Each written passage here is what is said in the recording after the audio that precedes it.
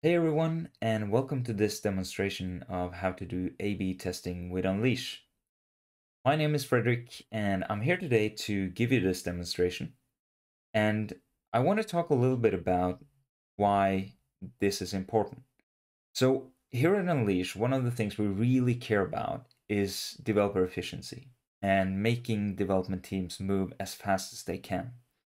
Because we believe that in doing so, there's a lot of room for experimentation and finding out what works and what doesn't.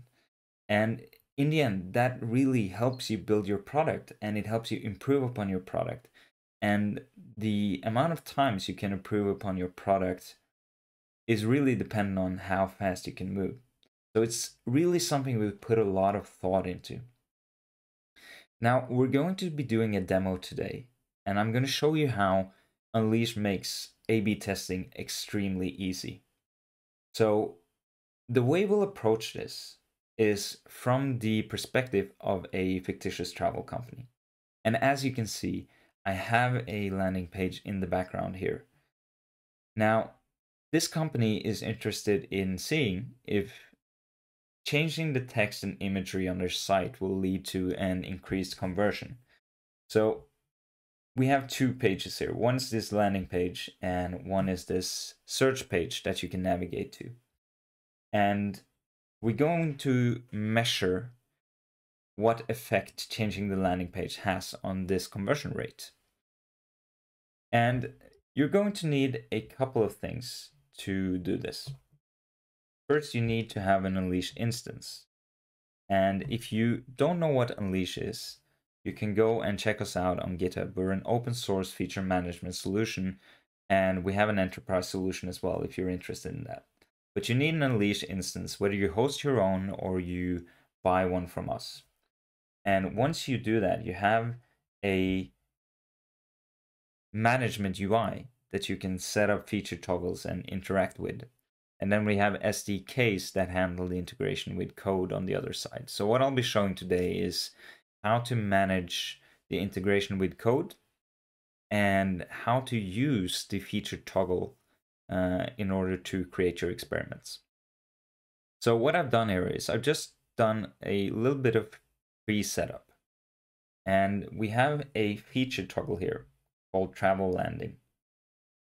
So let's go ahead and see what this looks like.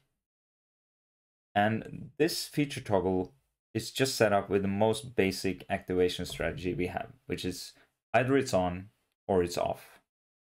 I'm not going to go too deep into strategies now, but you can do some really flexible things with strategies um, in terms of deciding what amount or which segment of your user base you want to activate the feature for. But what is more important right now is the variants tab. So Within the variants tab, you can see we have defined two variants here. So one is tent and one is called Northern Lights. So that's the name of the variant.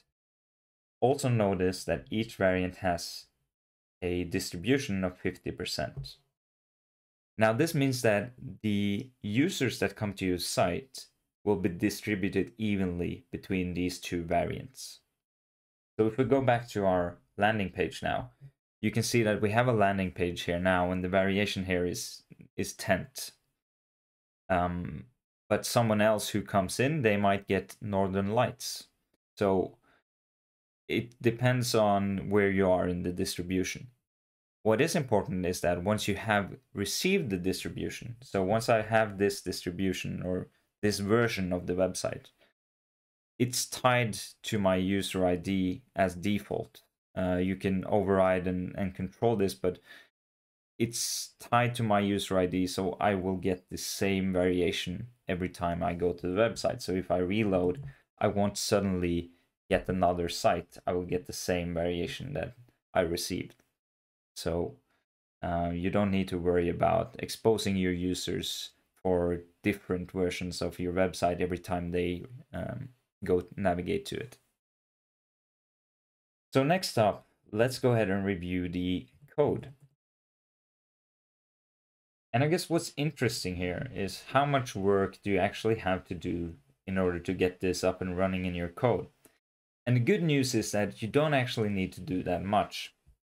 And we're in a front-end oriented code here, so we're using the Unleash proxy client.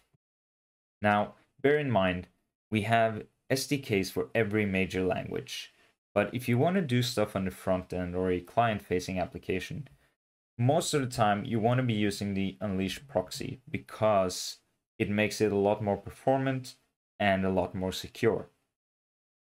So here we're dragging in the Unleash client from npm and we are providing these seven lines of configuration. And once we have that started, we call unleash start.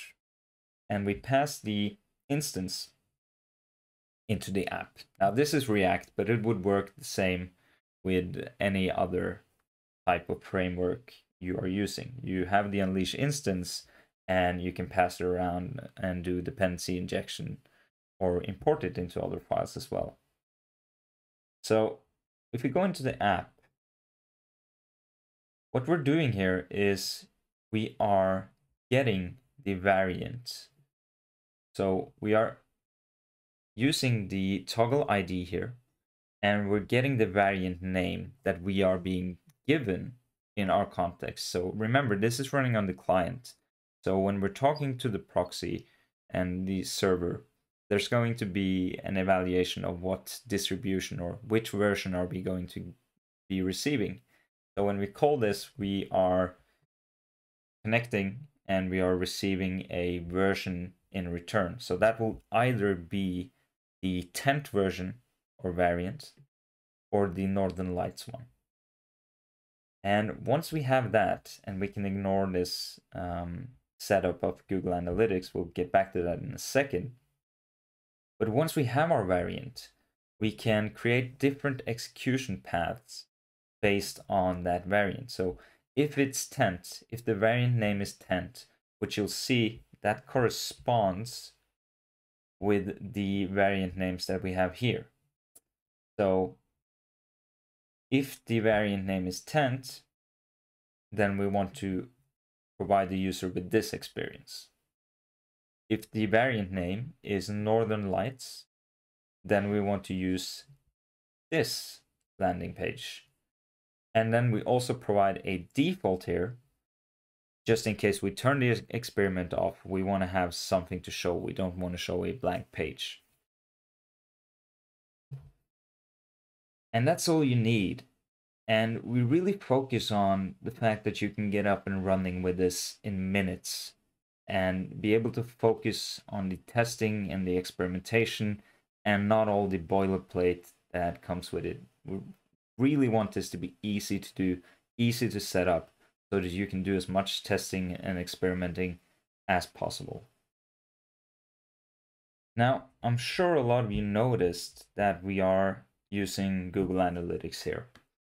And this is a conscious choice on our part Instead of being limited to a set of tools, predefined analytics tools that we create and build into our solution, we concentrate on delivering the best feature management experience and making that as flexible and extensible as possible.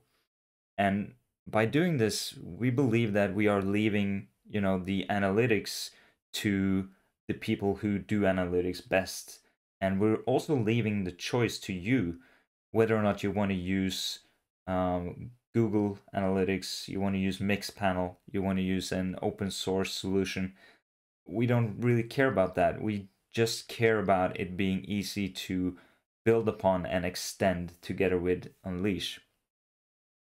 And it's not just for extensibility and, and for ease of use, but also for privacy as well we don't want to be the ones who control your data. We just want to be the ones who make it easy for you to connect your data together with Unleash and actually create a real experiment.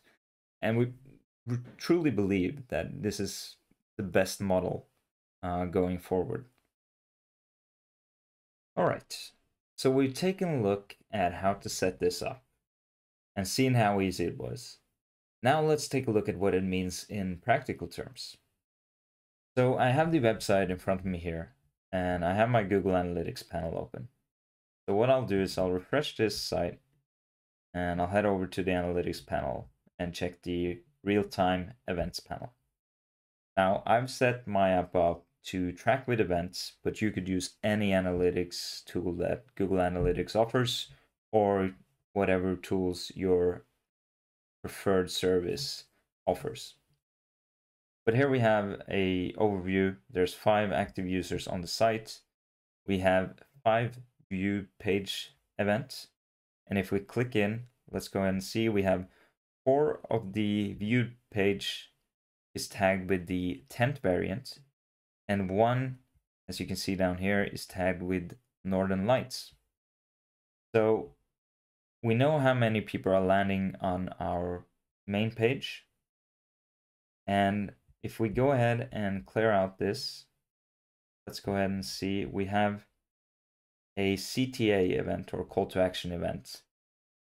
And one of the people who landed on the main page clicked the call to action button and the variant that they landed on was the tent variant. So let's go ahead and see if we go back to our events page, what happens if we go to the browse page from the Northern Lights version. Now we navigate it here and we'll go back to our Google Analytics panel and we'll click on the CTA event. And as you can see, now we have two CTA events and one is tagged with Northern Lights. So you can really easily get an overview over how many people visited the page, how many people did the action that you want them to take, and you can see if there's any variance between them. And it's really easy to set up. So now if we wanted to turn off the experiment, we decided that none of the new landing pages worked the way we wanted them to work. It's as easy as going to the panel here and hitting this toggle off. And now the feature is disabled for everyone. And if we go back, you can see we now get the default version of our landing page. So now would be a good time to go back to your code and clean up the feature toggle and remove the unnecessary code, which we also provide a lot of tools for in terms of finding and identifying technical debt. One last thing I want to mention is that we have really powerful activation strategies. So let's say you wanted to roll this out to 50% of your customers and you want to run an A-B test on them. It's as easy as creating a flexible rollout strategy. And you can mix and match them. And if you're on the enterprise version, you can add constraints and have even more power over where you want to roll out your features. But that's a topic for another lesson. And this has been a demonstration of how to do landing A-B testing. Apologies with Unleash. Thank you very much for tuning in and have a great day.